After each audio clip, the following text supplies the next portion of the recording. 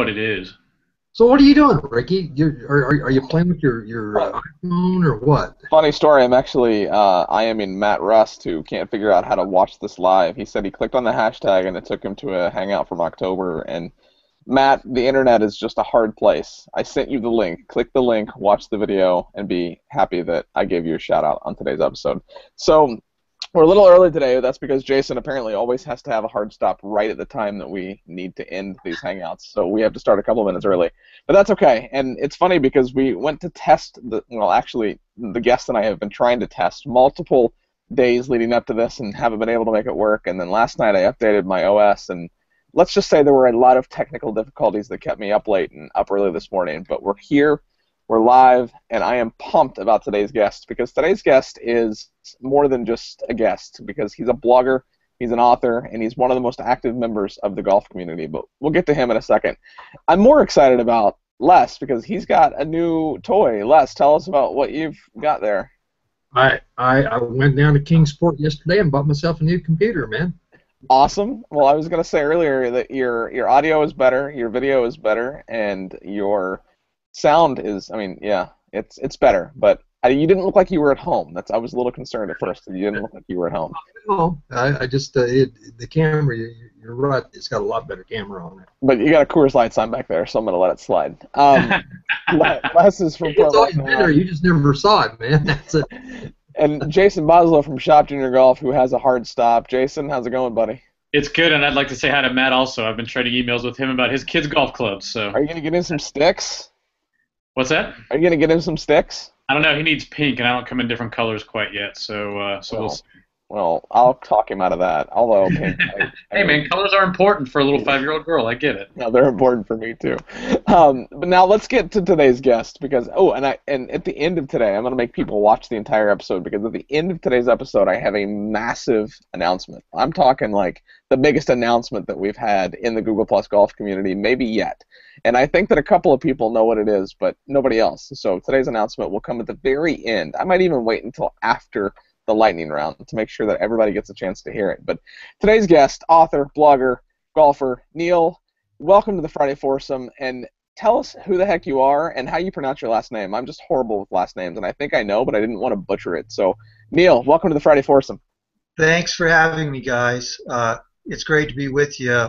You know, I can't think of anything better to do on a Friday than hang out with you guys and talk about golf. You know, what a great concept. Um, I don't think I even know how to pronounce my last name correctly. but the way I the way I say it is Sagebiel. Sagebiel.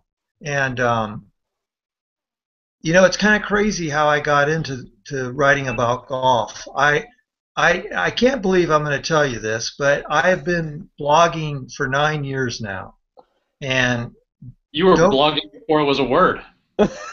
I was blogging back in the days when you had to try it. It took you ten minutes to explain to people what a blog was, and there were there were a couple of people out there before me. If you know Tony from Hooked on Golf blog, uh, and you guys probably do if you've been around online Tony was out there a little bit before me, and golfblogger.com, John was out there, and there were a few others, but it really was a small, small world in, in terms of golf blogging. And I was, I, I just wanted to try blogging out, really. And it just so happened that I picked golf because I knew something about it. But I was experimenting with the medium, uh, looking for a creative outlet for my writing. And lo and behold, here I am. I've, I've kept doing it, uh, and it grew into something, and things started happening in the golf world. Uh, I made some connections. Uh, bloggers became more accepted. Uh, I was interested in golf history, and through that, uh, sort of an interest in Hogan, uh, writing sometimes about history, but also writing about today's game. I made a connection with a man named Jack Fleck, and that's how my first book came about, The Longest Shot, which came out in 12, uh, right around the time of the U.S. Open. That was the one that was at the Olympic Club. So uh, the book and the the book and the blog sort of work together. Uh, and now I've I've written a second book that just came out a couple of months ago, and uh, just this whole thing in the golf space for me has been a, sort of a grand adventure of things that I never really planned, but through writing and and talking to people like you about golf, getting an opportunity to go to tournaments, getting credentialed, having the opportunity to interview not only some of today's players, but a lot of legends of the game. I've just had a, a really great time. Well, that is awesome, and you know, Jason is the only one out of the out of the group here that's not a blogger. Jason, why don't you start blogging and fit in with the rest of us? Uh, you know, I actually have a blog attached to my website, and I probably haven't updated it in like six months, and it's a very bad SEO no-no, which I am well aware of. I thought you were going to say six years, and I was going to be like, wait a minute. No, no, no. That's called history. I should hire Les. Well, this episode of the Friday Foursome is going to be streaming live to both the community and to YouTube, and later you're going to be able to see it on YouTube. You can see it on Golf Life TV. Lots of places to be able to watch this, and I know it's going to be a really good conversation. So I'm just going to get right into it. And this episode is also presented by the Back Nine Network. And speaking of history, Les has got a lot of history, so I'm going to let him kick it off with the first question. Well, you know, the older you get, the more history you have. Uh, Neil, your your your second book was about the Ryder Cup, and uh, the Ryder Cup is near and dear to my heart. So I have a question regarding the Ryder Cup. Uh, back when you the Ryder Cup you wrote about, uh, the Americans were just dominating the Ryder Cup. Now they're not.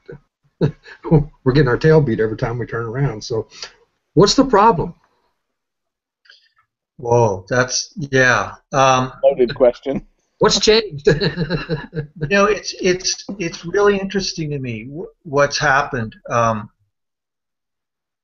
you know, the, I think there's there's two main problems. It seems like, and, and and I was asked this a lot before and even after the Ryder Cup because I was I was promoting this book and uh, we talked about the modern Ryder Cup. Uh, one one problem is for the Americans is the European players are, are just as good or, or, better than our players right now, in my estimation. Uh, they're just as good or, or better, and they and, and, this this is nothing new. This has been talked about a lot. I think we've all heard this, but I think it's true. They somehow come to this event and this format uh, and and have adapted to it, and, and they do better in this team format. They play well together. They they come out of a culture where I think they've just mastered this. Uh, they may even still have an underdog mentality, even though they've won now, whatever it is, six of seven and eight of ten. I can't, I can't, I can't, I can't recall. Uh, and I and I think the other thing is you know, this this year was just sort of a washout in a way for America, and and there's been a lot of hand wringing since then. They they just sort of got pummeled this time, but um, I think our guys, if you throw this year out, I think our guys have also felt the heat, the pressure, the burden of expectations. You know, they they do very well in the President's Cup. They play a lot looser. Uh, I know the President's Cup's a different event, a different format, but you know they should have won in 12. They, you know, there, there's all this talk about the captaincy. We, I mean, we could get into a lot of things, but we won in eight. Uh, we lost in 10 by one point uh, there in Wales. In 12, we're, we had 10 to 6 going in, into Sunday. Should have won should have won. It, so, you know, we could have been coming into 14 with three wins in a row or, or, or two wins in a tie or, or something better. So, you know, the matches, even though we've been losing, most of them until this year have been close. And um, I think, I, you know, for all the talk of the captaincy, I just think we got outplayed this time for the most part. And obviously, uh, got creamed in foursomes. Now his record his record doesn't really justify my comments from this, but do you think Tiger had anything to do with the way we played this year? Well, Tiger's never been a a, a team player. Sorry, but no, I know. That's why I prefaced that by saying Tiger's record doesn't help my question. But curious if Neil thinks that Tiger had an effect on the way we played.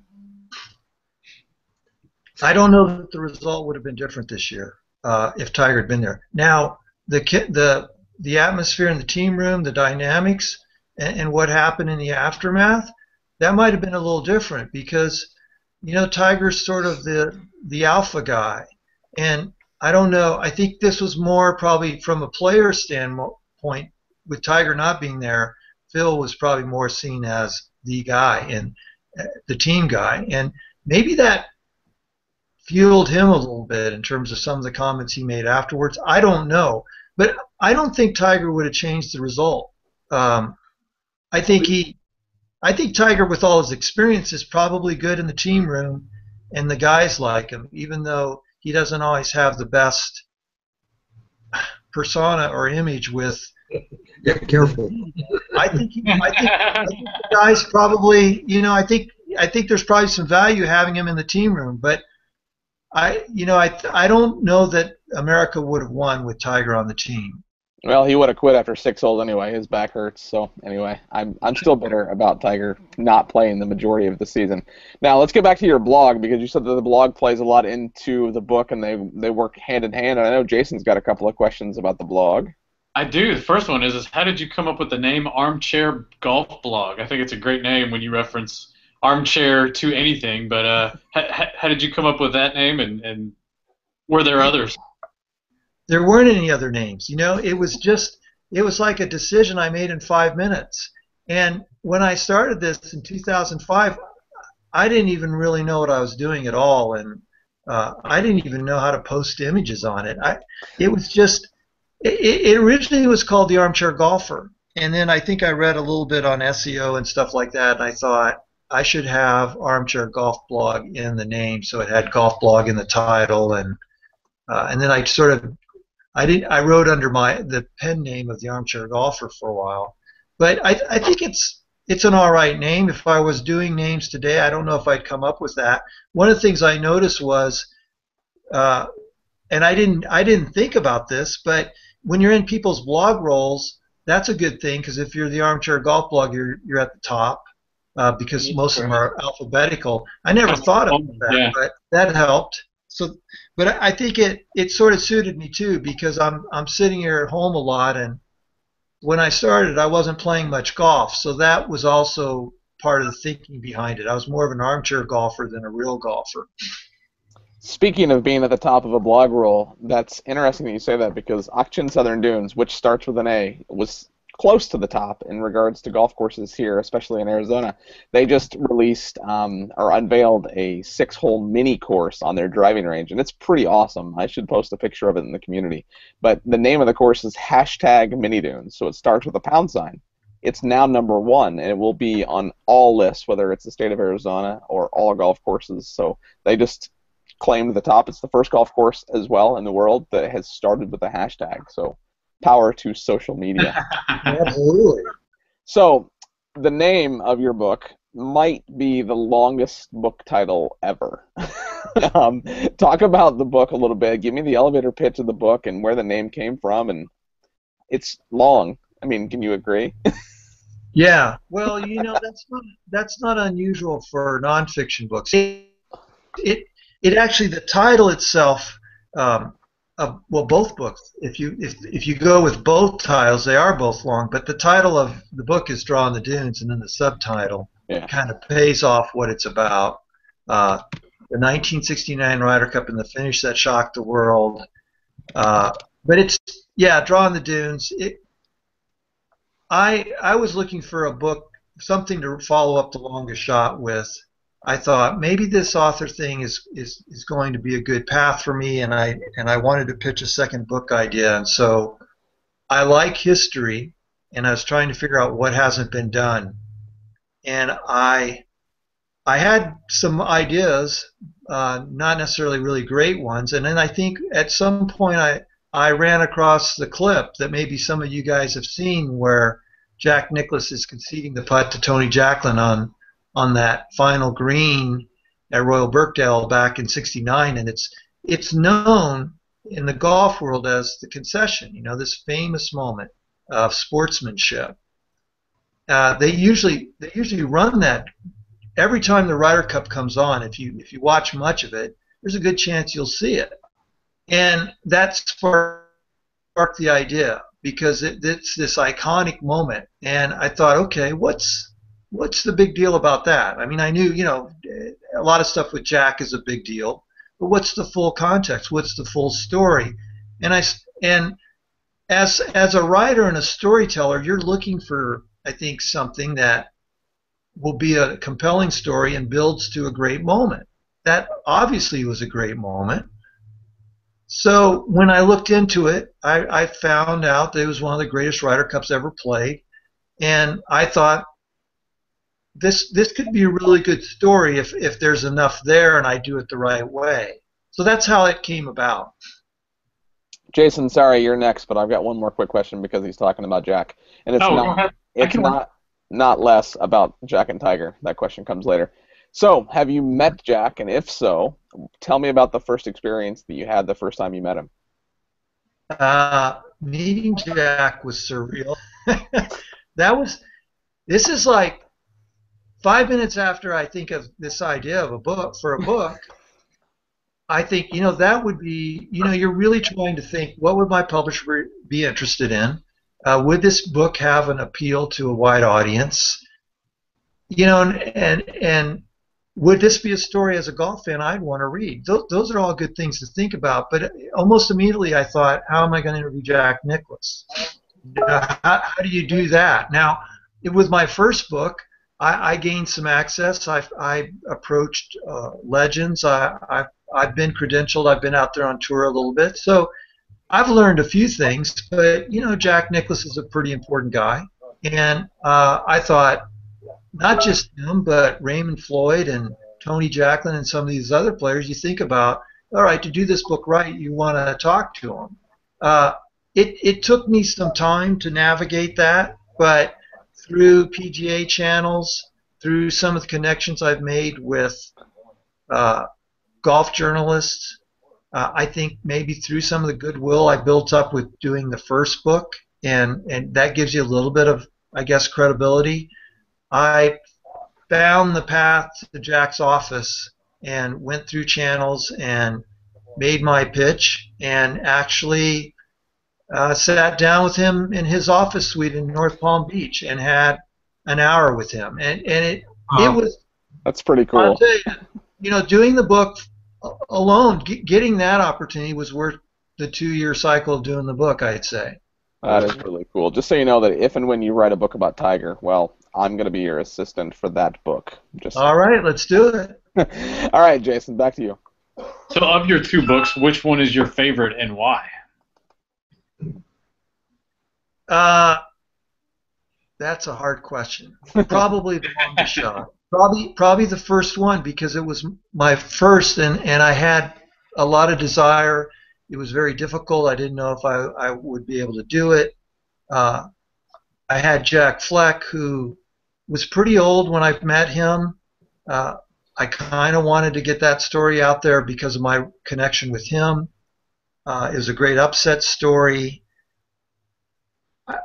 I think because it was my first one, I, and I, I, you know, it's hard to say. You know, one of the things I was wondered about with the second book was when you find such a great story like the the one in the longest shot, this great underdog story, you wonder, well, will I ever find another story as good? And and I don't know if Draw in the Dunes is is quite to that level. I think it's a compelling read, but um, I the longest shot just landed on my doorstep. I did not. It, it sort of found me. That story, that Fleck story, even talking to Jack Fleck, getting to know him, hearing all his Hogan stories, and how that all happened.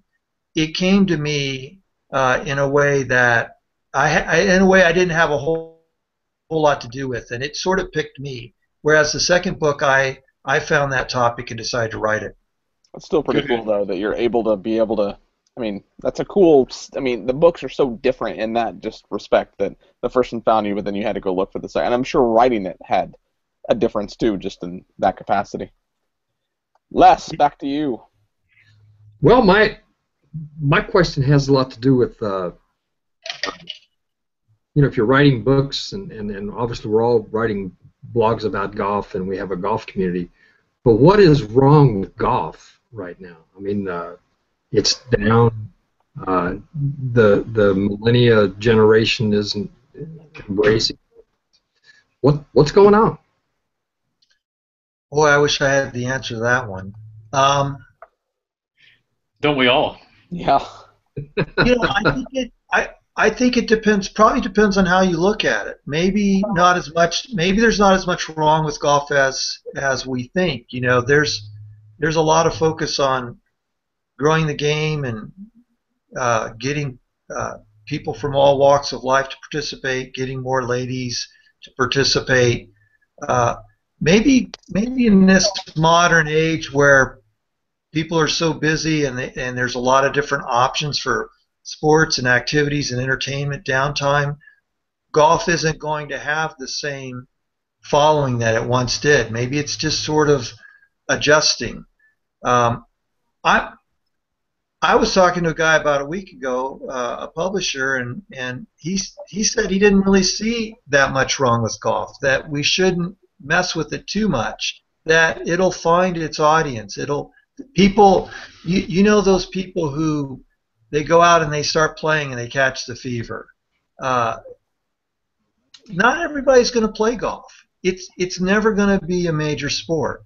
So, you know, maybe it's not maybe it's just adjusting. You know, and I think the economy obviously has had something to do with it. I think America was during the 90s when things were booming and we had real estate was going really strong. Uh, we are probably a little bit overbuilt in terms of golf courses, and and there's cost issues and access issues, uh, pace of play. There's something that needs work. That would help. I think that helped the game all the way around. Well, with um, young people out out to play, I mean, we have a lot of golf courses and they're all empty. You know, there's nobody. Yeah, that now that's really sad. But yeah, I think there are too many golf courses. Um, and, and maybe I, I don't like some of the stuff that I think is. I, I just sort of feel like I, maybe I'm because I'm o- older and I grew up playing. I'm, I'm more of a traditionalist, but I don't like some of the sort of gimmicky things. Let's let's tweak the let's make a bunch of tweaks to the game to make it palatable for for people.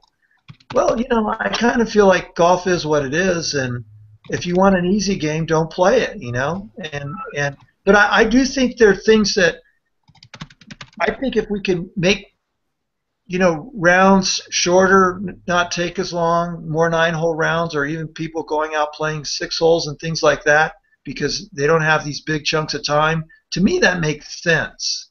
And I think if we can make it easy for people to access the game, both in terms of cost and instruction and not being intimidated about going out on a golf course to where they can play it enough to see how much fun it is, I think that makes sense too. And I think well, things like hashtag mini dunes is going to help that. I mean, the longest hole on the golf course is like 105 yards. We'll go play six holes. They're 75 yard hole, and it's good for beginners. But now I can't wait to go down there and play it so I can see if I can break the record. I want to go yeah. shoot two or three under par. Absolutely. Jason, back to you, buddy.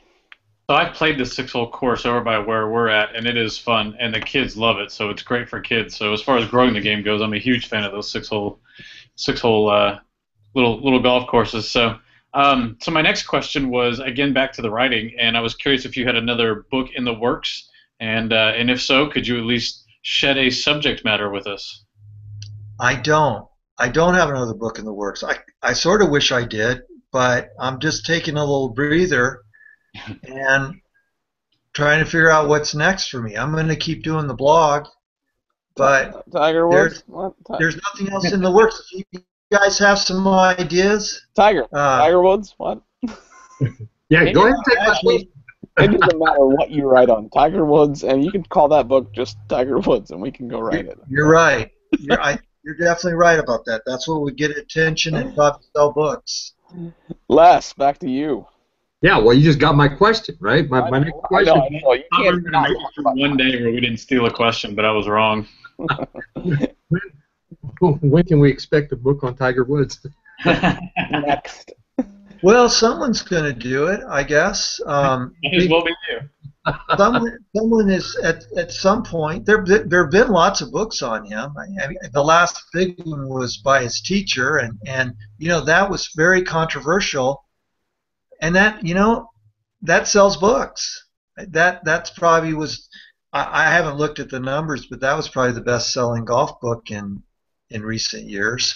I'll But be no, curious. you know- Speaking of controversial, I'll be curious if Golf Digest gets some. I don't know what's going to happen with that. But have you been paying attention to that interview that Dan Jenkins did?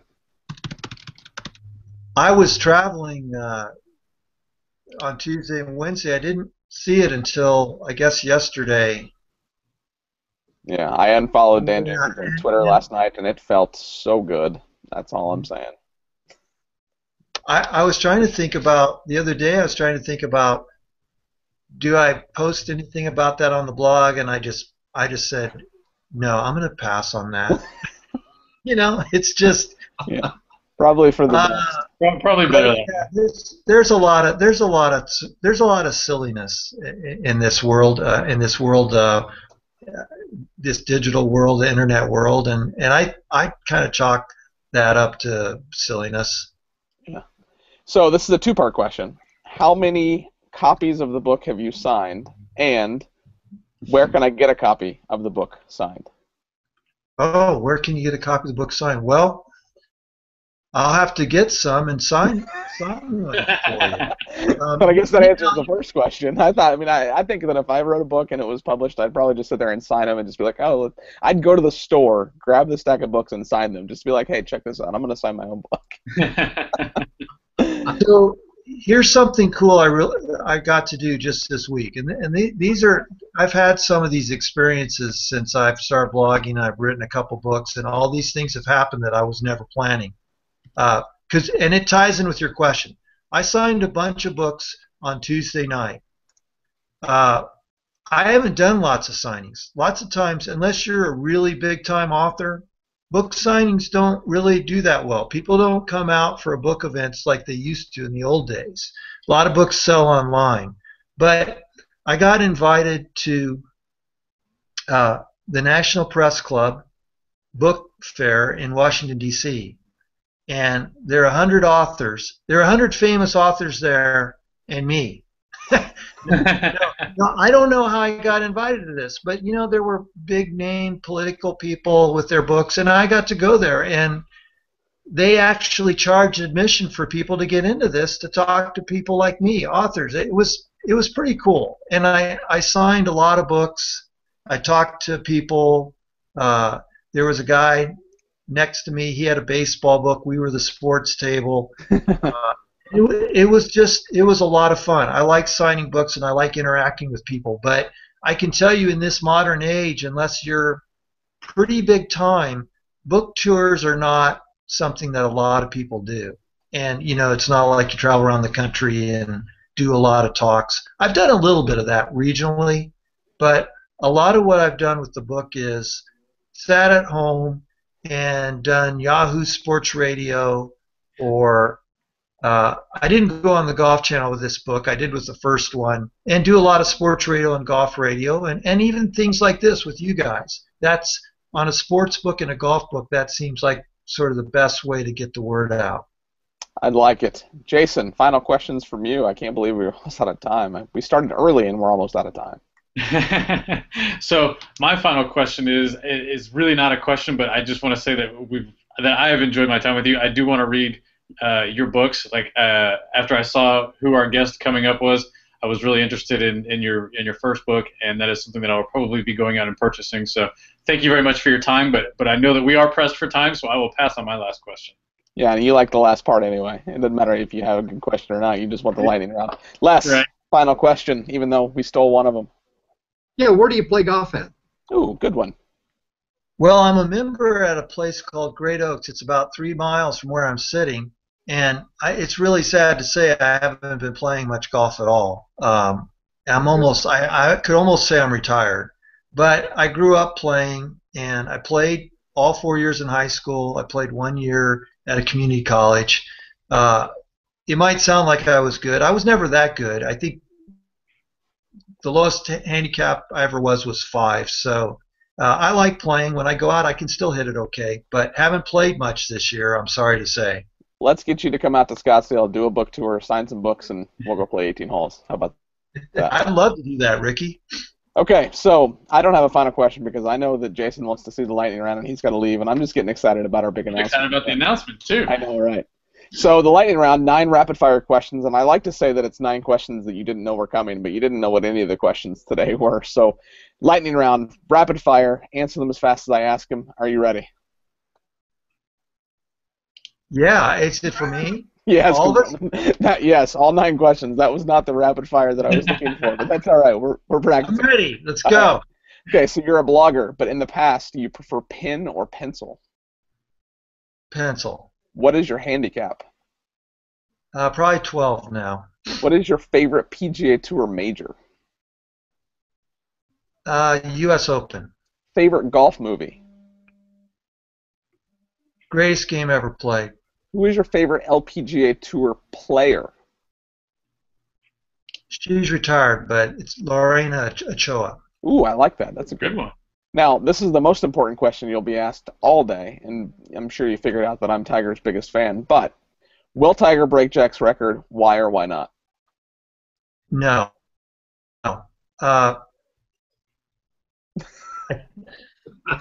You're not I just supposed to get stuck on I- that part. I think the I think the majors drought of uh, six years is has it's been a long dry spell. I think it's going to be hard for him to get the mojo back. Too much tough competition out there. He's he's old. He's an old 39 in my estimation. Okay, I'll allow that. Well, have you ever had an ace? One. Yeah. Ooh, that's that's rare. You usually hear no or I've had six. That's good. Now, do you you remember? This is not part of the lightning round. Do you remember it, and how far was it? I I absolutely remember it. It was the day day after golf season was over. I was just playing a recreational round, and it was on about 145 yard par three. And I didn't really even hit that good a shot, but I hit it straight, and it bounced. It bounced a couple times as about a nine iron. It just rolled up and rolled in. I like it. Now, I hope that I know the answer to one of these three, but who is in your perfect foursome? Perfect. Uh. I'll say I'll say say Nicklaus. He's the one I was thinking. Uh, um, I'll I'll put Trevino in there too. Ooh, good one. Well, I haven't thought about this. This is this is hard, and and I got to th- think of somebody outside of golf. I'll put you, Ricky. Oh, I like that. I'd play with I'd play in that foursome. I dig think it. I think you'd be fun to play with. I like that. And your final question of your Friday foursome: What is next for Neil Sagebiel? I don't know.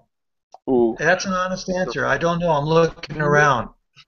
I love that answer. I don't know. It's funny because I sometimes preface that with "Don't say lunch or, or or cocktails" because that's sometimes what we get. But I don't know might be the best answer to that question. Yeah. I'm a freelance. I'm a freelance guy, and so I, I work on different projects. But I don't have a golf book going right now. Um, I'm just looking around for opportunities. I love it. Well, Jason, thank you. I know you got to rush to a meeting. Les, thank you for joining us today. Neil, thank you for supporting um, the game of golf, growing the game of golf, and writing about the game of golf. And Jason, are you are you sure you're ready for the announcement? Because here it comes. I am I am I am ready. I've been excited for this for a week now. I know you have, and I don't have any like hats or any confetti or anything to throw up in the air when we make this announcement. And I actually just told him last night that we were going to make the announcement today, so I hope he's watching. But we have a new sponsor for the Friday Foursome, and I am very excited about this new sponsor. And for the entire year of 2015, we are going to be able to be working closely with this organization, working closely because he on his own is doing a ton to grow the game of golf. He's got his own I don't want to say community of people because that's kind of what it is, and I don't want it to be confused with our community. But he's got his own network of people that are going to be able to be introduced to the Google Plus Golf community and to the Friday Foursome. But as of January 1st, the Friday Foursome for the duration of 2015 will be presented by the Back Nine Network. No, I did not mean to say that. I'm. Oh my God! Can I cut this? Jay, I just wanted to see your reaction, Jason. The Back Nine Network is the current sponsor. For 2015, greenskeeper.org is going to be the sponsor of the Back. Of, I keep saying the Back Nine. I want the lightning round to be called the Back Nine of the Friday Foursome. John Hakeem, who has been in previous Google Plus Hangouts with us here on the Friday Foursome, runs greenskeeper.org. Johnny is what you might be able to see him um, online as. Johnny is he's become a good friend, and we sat down over coffee a few months ago and had a conversation about what it looks like to be able to grow not only the game of golf, but to be able to grow the Friday Foursome and greenskeeper.org. But I'm really excited about that. You're going to see a lot of more details coming out from that soon. There will be a press release going out on Monday about that. I'll make sure all that gets shared in the community. But as of January 1st, greenskeeper.org is your new Friday Foursome sponsor. Jason, are you excited about that? I am excited. This has been a long time coming, and uh, we're excited to grow more and quicker and faster and partner with another wonderful company. So thank you to the Back Nine for all that they have done. But we are looking forward to uh, to the next chapter. Absolutely, and and the Back Nine has been a fantastic sponsor. They've had so much going on with getting on DirecTV and moving their offices. And Shane Bacon, who I hope to have on a Friday Foursome in 2015, has been doing a ton of stuff with them, and they've got a great casting crew over there. I was talking to Dennis Allen yesterday, and I'm just I can't thank them enough for the the promotion and the support that they've been able to give to us. And 2015 is going to be as as big and if not bigger than 20 or 2015 will be as big if not bigger than 2014. And I'm excited about the future and what's to come with Greenskeeper.org. So look forward to more details from that coming soon. And as Jesus Martinez says, make more birdies.